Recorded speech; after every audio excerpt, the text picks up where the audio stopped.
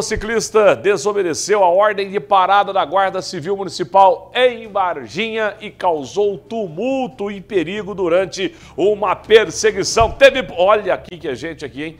Olha só o tanto de gente que a polícia fazendo a perseguição, você vai ver agora. E aqui tem uma procissão, tava o pessoal na procissão e teve a perseguição. Uma loucura, uma verdadeira loucura. Nem na, você não, olha, até no meio da procissão você não tem tranquilidade. Você está na procissão, você está na procissão, de repente uma perseguição. Não respeitam nem o final de semana que foi uma semana, um final de semana santo. Olha, põe no ar.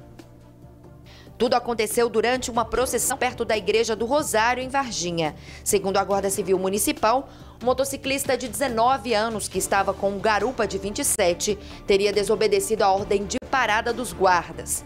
O suspeito bloqueou a passagem e ainda causou perigo ao arremessar a moto em direção aos fiéis. Nesse momento, um dos guardas precisou se jogar contra o veículo para evitar dano maior aos fiéis no local.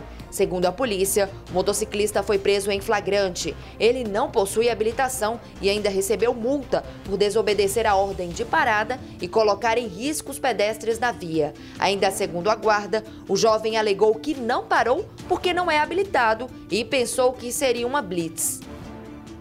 Então vamos lá. Ah, eu não parei porque não sou habilitado.